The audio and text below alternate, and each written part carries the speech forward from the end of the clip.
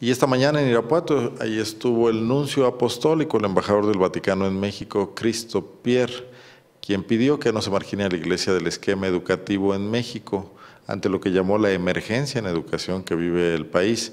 El prelado acudió a presentar un libro, Educar para una nueva sociedad, del cual es autor. Escuchemos lo que dijo en Irapuato, habló de la crisis de la sociedad, la crisis de transmisión de valores.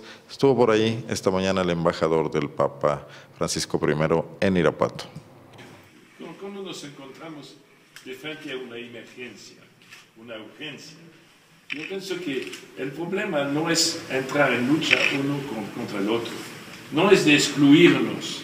Somos todos miembros de esta sociedad. Todos tenemos que contribuir para el bien de las personas. Y entonces yo pienso que lo que usted está diciendo son rasgos de nuestra sociedad, sí, hay que reconocerlos, pero yo los veo disminuyendo.